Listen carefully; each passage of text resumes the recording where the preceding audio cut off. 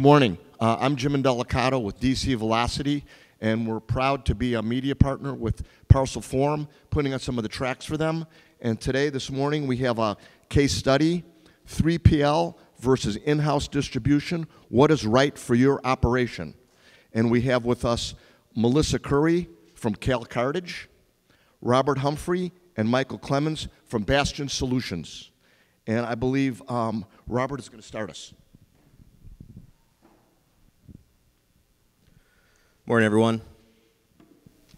Um, so, yeah, so as a, uh, a, brief introduction into our, our session here, um, this case study, third-party logistics versus in-house distribution, um, and what is going to be, you know, some of the key key uh, decision-making criteria that needs to go into place um, when you're evaluating that. Um, so this topic is uh, jointly provided by California Cartage Company and uh, Bastian Solutions. Um, Bastian Solutions were a material handling systems integrator, and California Cartage is a third-party logistics provider. So between the two of us, we see different sides and different ends of that decision-making um, process. And Bastian Solutions, we've been very fortunate to um, have worked with California Cartage Company on a, a handful of different projects where they were selected as the um, third-party logistics provider for the, the shipper. So with regards to this being a case study, uh, unfortunately we can't get into a lot of project specifics, a lot of uh, uh, details about the various um, systems that we've done together. But we put our heads together and really evaluated a lot of the, the key decisions that had to go into it and, and find a lot of similarities across those projects um, and really have built a, a proxy to what uh, this case study topic will be. Um, so we're hoping that it'll be very informative. Um, just briefly here, a couple of housekeeping topics. Um, if you have the Parcel Forum app, uh, check into the session. Uh, helps them know uh, how many people are attending, what sessions, and what was popular. Um, if you don't have it, you should download it. Um, it's, it's uh, very helpful. Uh, make sure that you rate the session, um, and that will automatically enter you uh, to win $250.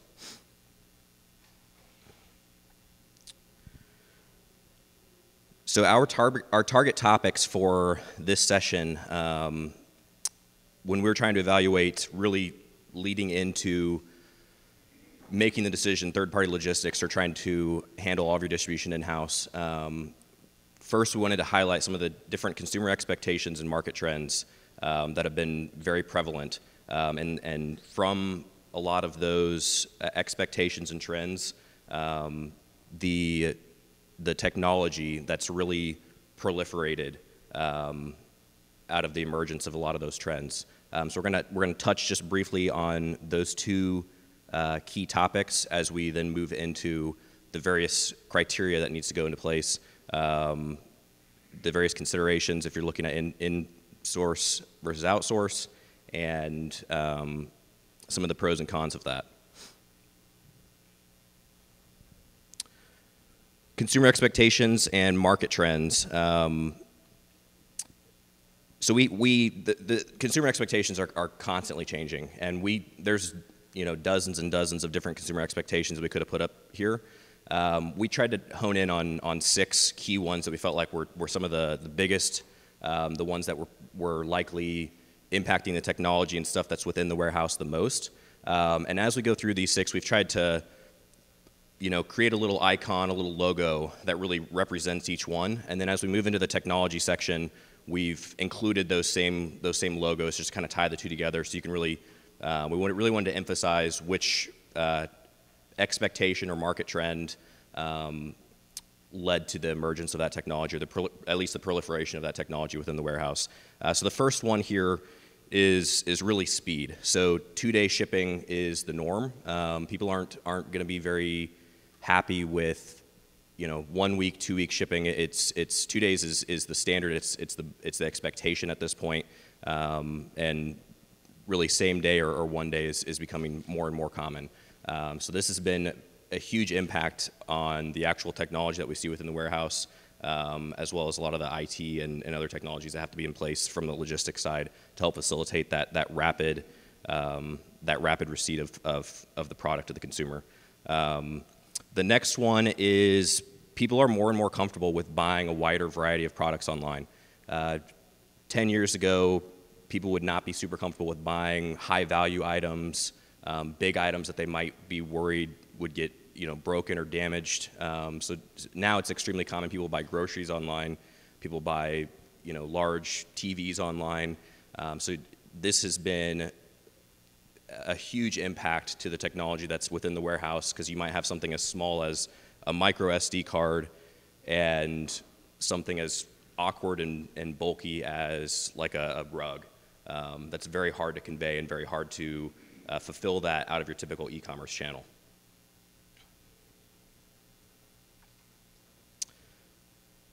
There's extremely high expectations for what the overall consumer experience, experience is going to be. Um, how easy was it to buy? Did I get a notification as soon as it shipped? How quickly did it ship? Uh, once it arrives to me, how what was the presentation like on the packaging? Even though I'm just going to tear it open, throw it away, what, what was the presentation like? Um, how easy was it to open? How easy is it to return the item? Um, so the, the, expectations for that entire process are higher than they've ever been. Um, so just consumers are really looking for a great all-around experience. The next one here is the environmental impact. So you know, keeping the environment in mind, people are becoming more and more conscientious of uh, their, their own environmental impact and they're becoming more aware of it. So how efficient is the packaging? How efficient is the, the labeling? Was there a printed out marketing insert or was the marketing printed directly on the carton? Um, so that people are becoming more and more aware of that. The fifth one here uh, the Amazon effect, this could really be summed up um, just in general as, as market competition. Um, so it's, it's very, very competitive, and um, Ravi Shankar, our, our, keynote speaker, really summed this up uh, very well yesterday when, when he said that shipping is free. Um, now, it's, it's not free, but that's the expectation. Um, we will have an entire generation of buyers coming into the market that have never paid for shipping and they don't want to see a line item that says anything about shipping, um, it's free. So, so Amazon has really um, set a lot of the expectations for consumers across the board for what they're, they're looking um, for out of their buying experience. And the last one here, this is really just general economics. Um, so there's a, lot of economic pressure right now. Um, unemployment is, is uh, extremely low we have clients in certain markets that simply can't find people. Um, and, and that is really forcing them to move to automate various portions that they struggle to see ROI in, but they just simply can't find enough uh, workforce depending on what market they're, they're in. So those are the six, six key topics that we identified, and Mike's going to take us into the technology, uh, technology trends. Thank you, Robert. So we, we have a section on technology trends in the warehouse and why this is important in the in-house in 3PL versus in-house decision. Uh, technology trends and, and the things we're going to talk about are becoming more prevalent in a modern warehouse. Not all of them in a single warehouse, but key elements uh, may exist. And this requires capital, it requires uh, operational expertise, and uh, whether you have that expertise in house, whether you have the ability to invest, I think that can be a part of the decision making criteria. Also, these technology trends uh, help affect and address issues in the warehouse like labor shortages, uh, labor availability, high labor costs, uh, use of space, and even uh, all the customer service requirements that are new in, in today's environment. Uh, over the past decade, there's been kind of revolutionary technologies like Kiva and AutoStore and various uses of robots. And all of these are, their, their objectives are to make things less expensive to operate, uh, to uh, fulfill things faster, and uh, essentially use less labor. So first we'll focus on the picking, and uh, picking technologies kind of or I'd say a, a major move there uh, is the application of AGVs in the warehouse. And these applications really begin with the lift truck. So uh, the modern lift truck manufacturers, a lot of them are working on ways to automate their, their manual vehicles. So uh, some of them have teamed up with systems integrators. Uh, they've actually merged companies. And what you have are uh, manual lift trucks that can be brought to full automation. Uh, this, you know, obviously gives you higher productivity without the operator. Uh, because you're starting with a base vehicle and just adding the automation, it requires much less capital to implement. So it's kind of an, emerging trend that we'll begin to see more and more of. And it, what we're showing here is primarily for pallet movement, but any type of manual lift truck uh, can be automated and will be soon in the future.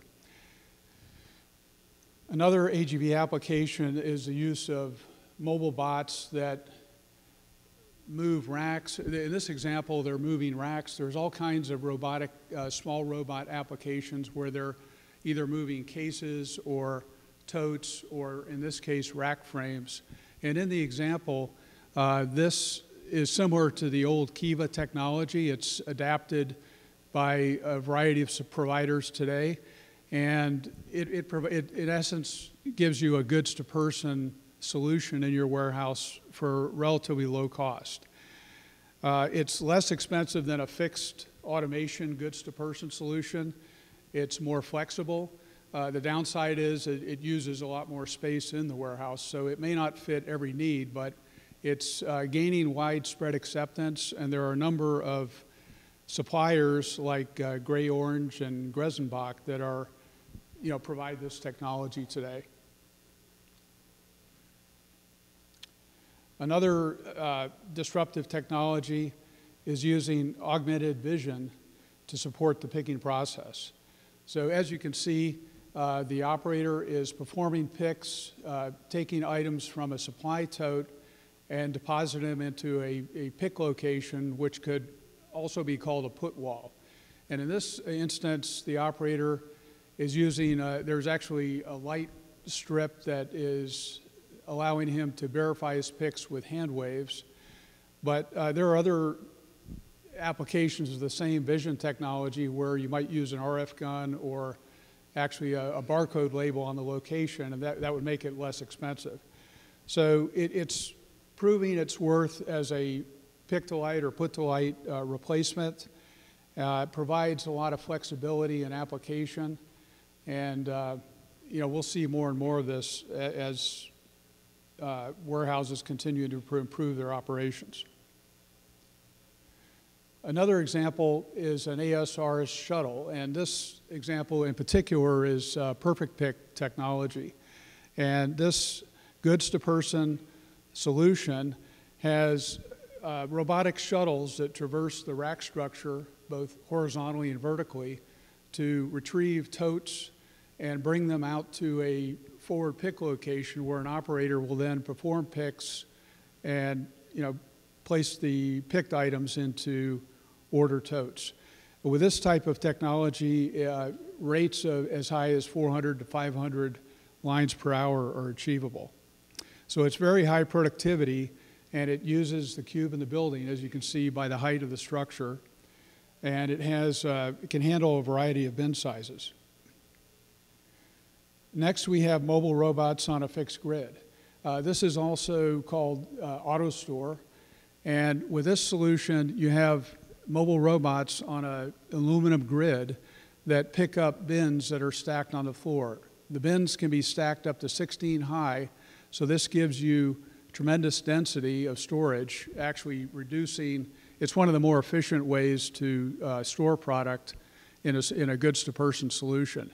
So here you also have the robots are bringing the bins out to a pick location where an operator performs picks.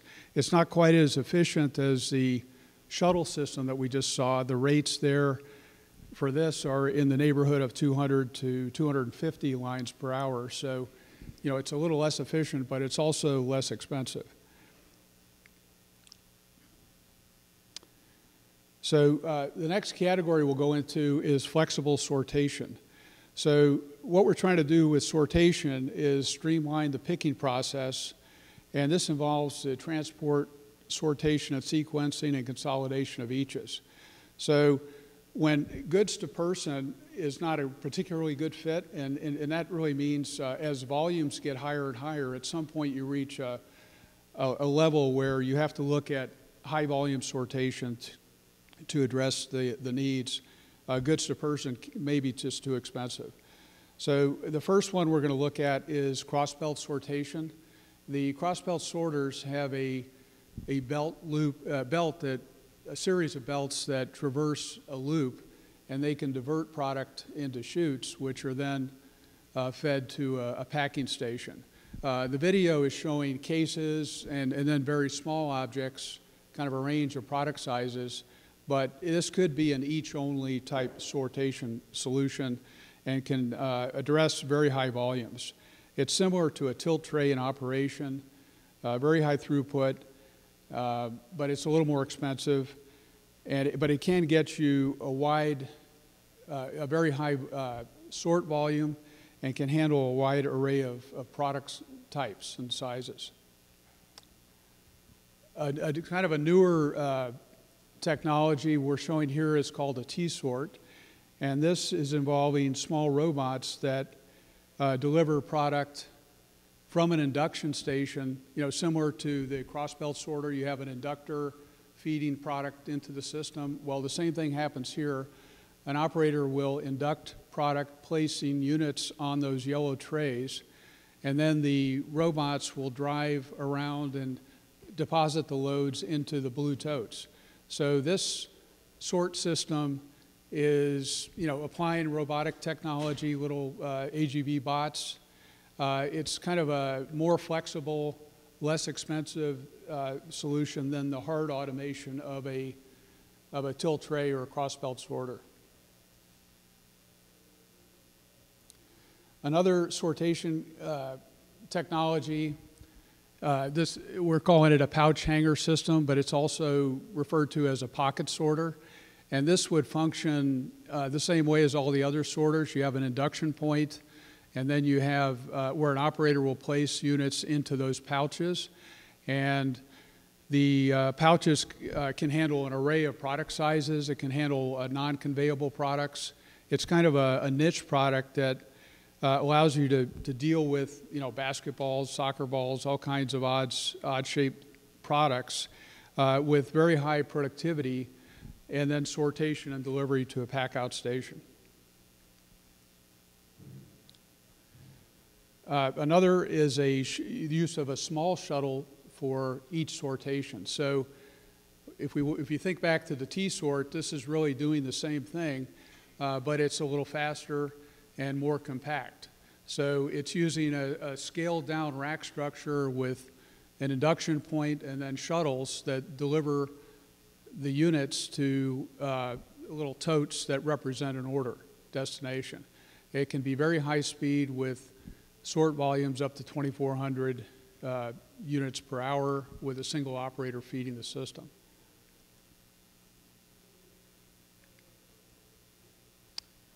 So uh, next in our journey through the technology is, is the pack-out area. So this area is where goods are prepared, uh, you know, for the end customer. So there are a variety of ways to ship product. Uh, this technology is an auto bagging solution. So it is giving you a uh, product in a bag. So the idea with uh, bagging versus packing into a, a carton is the bagging uh, material is less expensive, uh, the shipping costs are lower. So in this uh, kind of optimal format, the, the equipment will scan the items, or it'll scan the actual order quantity, and it'll form a bag that's uh, kind of custom fit around that dimension. So you're essentially feeding the items into a, a bagging tunnel. The bags are, are uh, cut to length, sealed, labeled, and then sorted for shipment. So this, this automates a very manual process.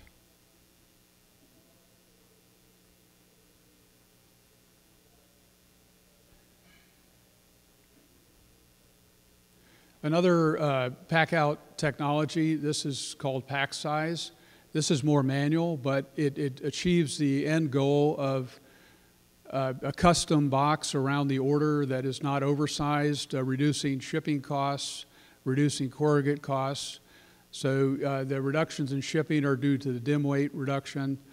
Uh, but what a person has to do, they, the system calculates the cube of the order, and then that cube is, fed, is converted into a box dimension. And the, the uh, machine, through a, a, loop of corrugate, feeds corrugate to an operator. It cuts the corrugate to that ideal size, and then the operator glues and sets up the box for the picking process, and the carton is then filled. Next, we have a, an automated version of that. So this is automatic uh, carton forming and lidding. And what this technology does, it, uh, you, have a pre, you have a carton size that is fixed, and it, it, it forms the cartons, which are then filled by the, the pick, in the picking process. Once the formed carton is you know, filled with the pick product, the system can then sense how large, how much cube is used in the carton. It then shrinks the corrugate size down to that cube, and then it automatically applies a lid to the carton. So you wind up with a uh, kind of an optimal carton size, but as an automatic process, it's more efficient than the, the Packsize option that we just talk, talked about. But it has the same benefits of reduced corrugate, reduced dim weight shipping costs, and you, but you can also, and this may help address the uh, presentation, you can also have the cartons pre-printed with uh, supplier logos and other kind of decorative uh, information to enhance customer uh, presentation and satisfaction. And lastly, we have uh, automatic truck loading and unloading. So in this, uh, this is kind of an emerging technology. It's just starting to hit some warehouses. It's automating that last step of loading the cartons onto the truck. This uh, tends to be, as a manual function, one of the least desirable jobs in a warehouse. Uh, hardest to you know find people to do. It's it could be heavy loading and not very ergonomic. So this type of a solution can provide uh, automation using vision and robotic technology uh, the rates, you know, can, you can process at a very high rate, you know, up to 20 cartons an hour. Can handle heavier loads. Uh, it's, it's really a, a, an option for the future. So just kind of in summary, we've discussed a lot of technologies. As you can see, there's quite a few on the market. No one warehouse has all of them, but uh, uh, the, a new modern warehouse design might have several. So this uh, is really a key driver in how you need to operate a warehouse to meet customer service goals and to reduce operating costs. And the, I'd say the expertise and investment required for this is a key consideration in the, the next step, which is the insourcing versus outsourcing uh, decision, you know, for your distribution operation. So with that, I'll turn it over to Melissa. Good morning.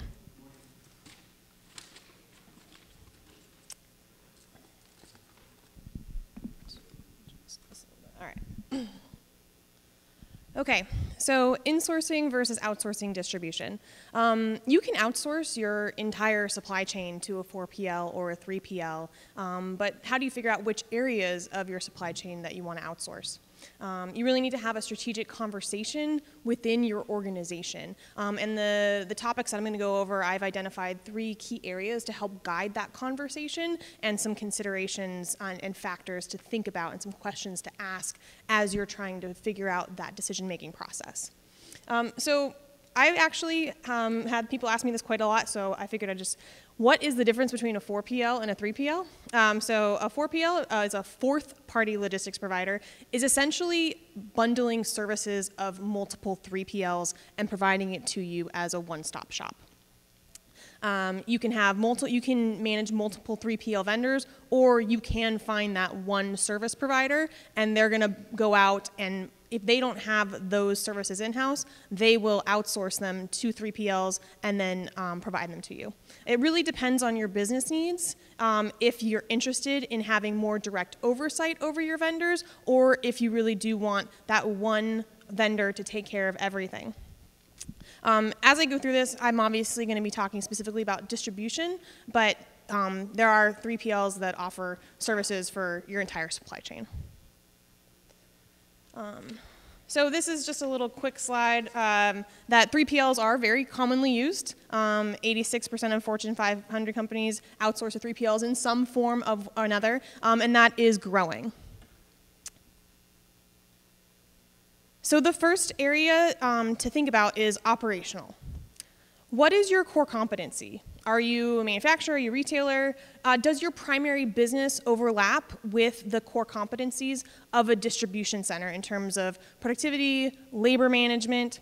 Um, even with the great technology that is available that Bastian just went over, um, DCs are still typically pretty labor intensive um, and require strong day to day management, ensuring you're, that you're operating a safe, efficient, and productive facility. So, does that overlap with your core business? What is your commodity? Um, what business are you in? Will you be able to train and trust a partner to handle the product the way that you would? How much TLC does it need? 3PLs uh, are typically efficient by being able to standardize processes. Um, if your business is not one that's easily standardized, then a 3PL may not be the best choice for you. Um, if you can't feel that you can properly train um, and pass that skill set on to a third party. Um, alternatively, there are portions of your distribution center that you could outsource. For example, maybe quality control is something that's very important to you, so you outsource um, some of the distribution activities, but you keep the quality control in-house. We have uh, some customers that do that, and they have their quality people on site in the DCs that we manage for them. Seasonality. Um, is your business highly seasonal? Uh, does it require a significant increase in labor? Um, I think everybody knows with peak season coming up for Thanksgiving weekend, um, we're actively staffing up. Um, do you have the resources and the capabilities to do that? Um, you know, e-commerce volumes can increase 10, 20 fold over averages, and can you effectively train the people that need to be trained to be able to meet those demands and still hit the service levels that the customer requires by getting your shipments out in you know one to two days.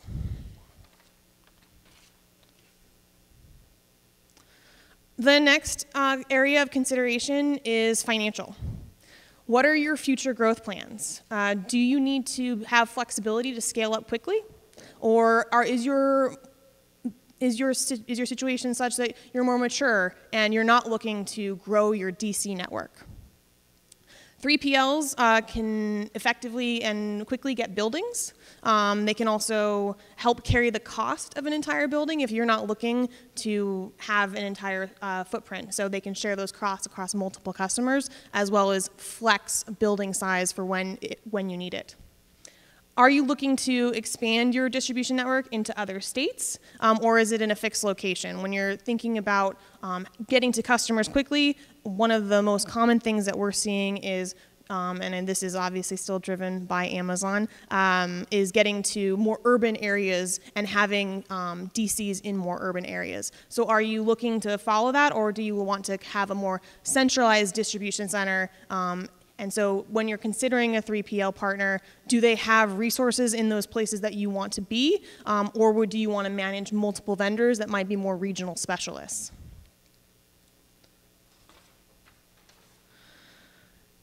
IT considerations and technology. So um, with e-commerce and the, the growth and the need for faster labor productivity, um, automation is really something that um, is we're seeing grow and that customers are interested in? Um, do you have the financial resources to make those investments? In your distribution center. Uh, 3PL can help provide that kind of financial flexibility. Um, they could put up the capital and um, then spread it out over the life of their contract with you. They could incorporate it into your pricing model, um, or they could spread it across multiple customers if it's an applicable um, technology solution that could be applied within a distribution center that is servicing multiple customers. Another consideration um, with regard to technology is the technology that you're looking for. Do, do, you have expertise in that technology, or does your 3PL have expertise in that technology? Um, the technologies can typically have uh, some learning curve as well as ongoing maintenance, um, which can be expensive to make sure that you are maintaining these high capital investments and you're getting your value out of them so they don't shut down. 3PLs can also offer uh, standardization of vendors. Um, they can reach their networks and try and get better pricing on supplies, materials for a DC that you may not be able to have because they're buying it for the entire country or they're for their entire network.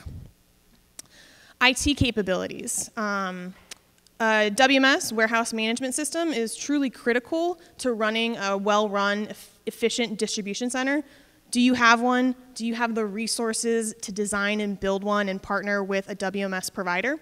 The right 3PL should be able to provide you um, expertise in that area um, if they're not providing the W, if they can't provide the WMS themselves. But a lot should be able to actually provide a WMS as well with their offerings to run your distribution center. Um, building a WMS from scratch can be very expensive. And then some of the WMS functions that are really critical to running an efficient DC are things that the 3PL should have strong experience at. Um, inventory management, um, are you doing a cycle count program or are you doing a full shutdown of your inventory? Um, in the modern day and age, it's becoming more increasingly difficult to shut down for a few days and actually count all of your goods. So that cycle count program is very important. Um, efficient order management and traceability and having the, your WMS integrate with your parcel carrier um, so that the customer um, can give you their tracking number and you can actually go back into your WMS and see, see what happened with that order.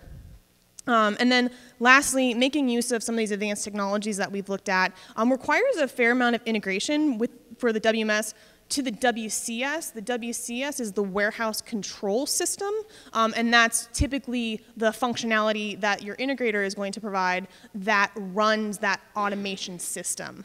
So um, typically there are messages going back and forth between these two systems every day, hundreds of them um, talking to each other. So making sure that you have a robust WMS that can support that as you move towards an automated technology is very important.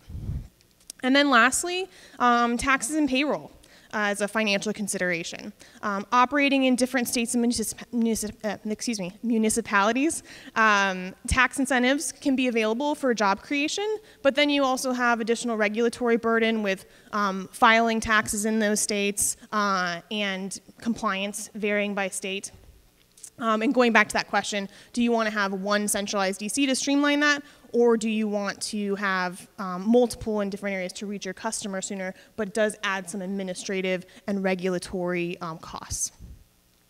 In addition, um, when you're thinking about financial considerations and making an investment in some kind of an automated technology, um, you might have a financial incentive to make that investment yourself instead of doing it with your 3PL because you'll get the benefit on your um, taxes for uh, capital expenditures and depreciation.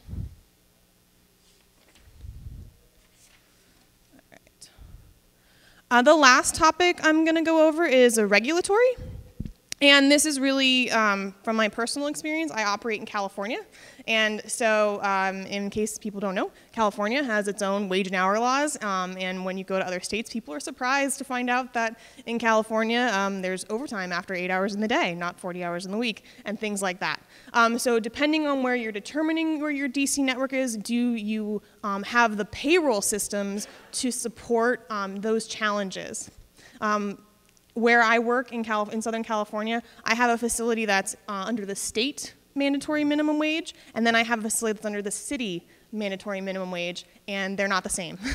and there's also different sick time regulations, and the facilities are about two miles apart.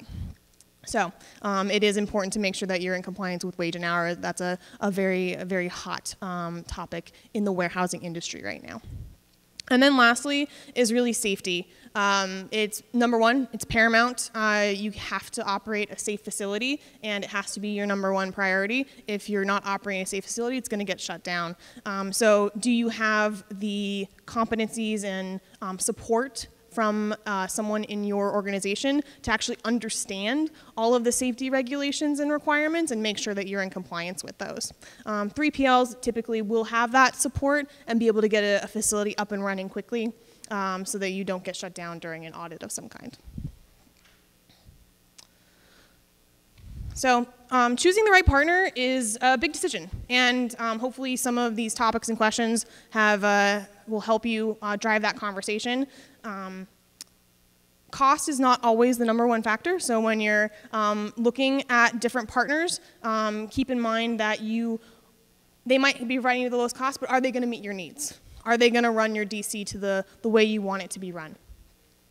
Not all 3PLs can do everything, so um, going back to considering working with a 4PL that will bundle those services or managing multiple vendors and really understanding um, what that 3PL is going to provide to you. And you also don't have to outsource all the activities in your distribution center. You could just choose to outsource some of them. Values. Uh, code of conduct and supplier rules are, are very important, and making sure that your 3PL aligns with yours um, and they're, they're the kind of partner that's going to bring value to your brand or at the very least not cause you PR problems. I think as we've all seen um, in the past with various uh, customers and um, seeing things happen in factories in Asia and things like that. Um, and then finally, um, startup costs and the initial learning curve with a vendor can be expensive. Um, so really making sure you have the right partner in the beginning. Um, trying to move your inventory to a new, a new warehouse is time consuming and expensive and also will cause disruptions to your customers, which you don't want. Um, the systems integration and testing um, is usually quite time consuming and expensive as well. So lots of most of our customers are long term and really building that relationship over time is, is critical. So in summary, uh, pros of insourcing, you get direct control. Um, you're not relying on anyone to do it for you, so you can make your own decisions. Um, you have the potential for financial incentives with the job creation and capital expenditure, um, and realizing those through tax savings. And then lastly, you don't have the initial startup costs or learning curve with the new vendor. Um, the advantages of outsourcing to a 3PL, you get some additional flexibility, scalability, reduced regulatory compliance and legal exposure. You don't have that payroll burden. All of those employees are theirs. Workman's comp insurance will be lower. And then um, there's an opportunity for optimization and reduced costs. At the end of the day, the 3PL is in the business to um, make a profit with this, so they're incented to be as efficient as possible and try and pass those costs on to you. And that's the end of our prepared slides. So we uh, are available to take questions.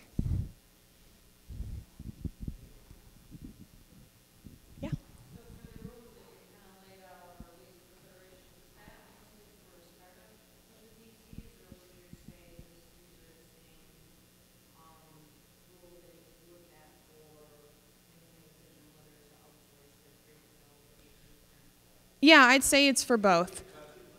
Sure. The question was Are these um, guidelines, rules for startups only, or um, could they be relevant in other cases? And absolutely, those could absolutely be relevant in other cases. Um, startups are, are particularly um, challenging, so making sure you're finding the right partner with your startup. But even uh, if you're midstream, you can always choose to bring in a 3PL to help support, and some of those financial, operational, and regulatory considerations are still totally applicable, yes.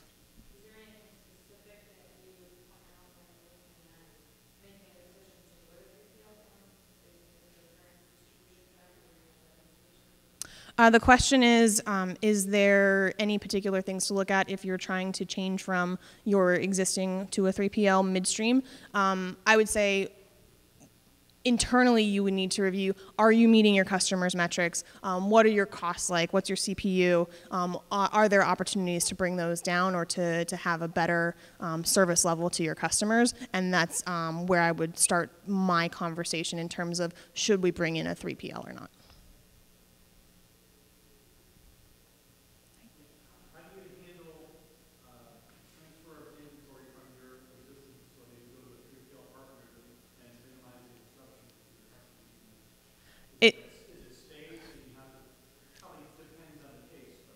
Um, the question is, how do you handle transferring inventory from one warehouse to another or to a new partner? And yes, it is uh, one of the biggest challenges is is trying to um, change inventory. So it depends on your situation. If you are able to uh, phase down, um, and then you can start receiving new stock into the new facility and then slowly ship out from the old and have you know a, a phased approach to it um, that's usually what we like to do so it's not like some kind of hard stop that's going to disrupt your business um, but it is one of the bigger challenges um, and then eventually you would probably do some kind of transfers. And with inventory control, um, what we would do typically with our WMS is we would drop an order and then we would um, create the load, we would invoice it, and then we would create an ASN to receive it into the new warehouse.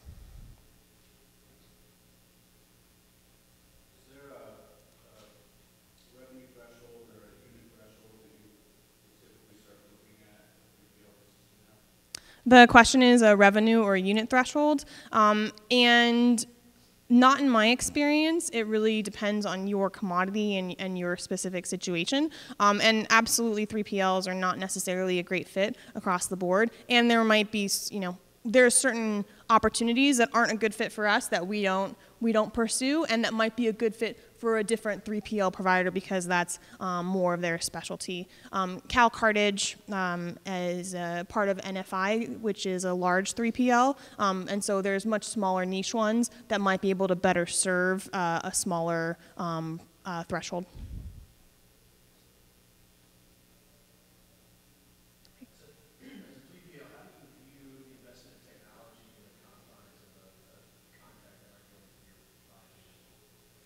Um, so the question is, how do you view the investment of technology in the confines of a shorter contract? Um, that would be a point of negotiation in terms of how we would structure the pricing and um, the investment. So there's lots of ways that you can do the investment where we could do it together and you guys invest a portion of the money and we invest a portion of the money.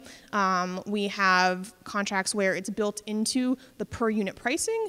We have contracts where it's built into a fixed cost where the customer pays us back on, on a monthly fixed amount with a set interest rate that's agreed upon.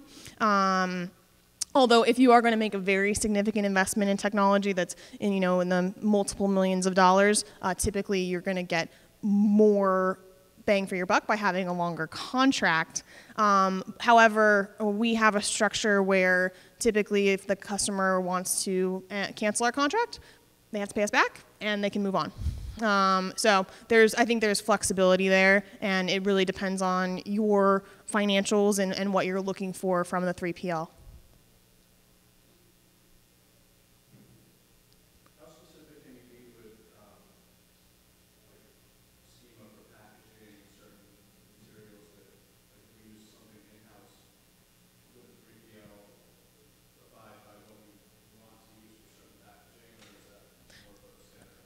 Absolutely. So the question is, in terms of packaging, and you have specifics requirements, will the 3PL be able to meet those? Um, we have customers that provide their own supplies, and we use their supplies, and they manage the inventory, and they're responsible for it. Um, you know, so that's that's absolutely. If you want us to use certain things, um, you're the customer. We're going to do what you need.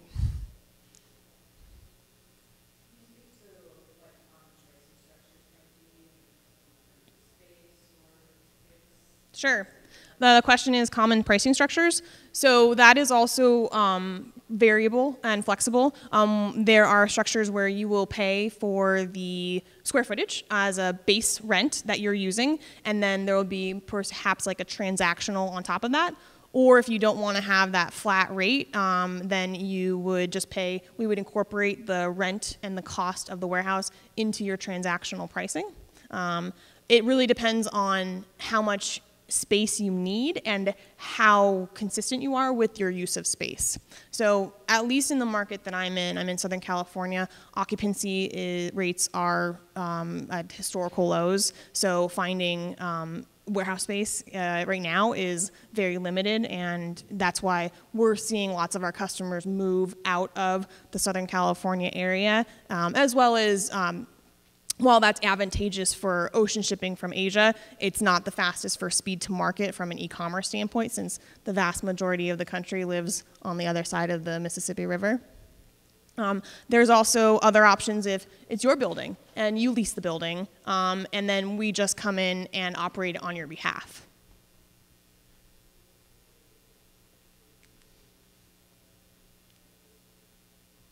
Okay, there's no more questions. Thank you very much for your time and attention this morning.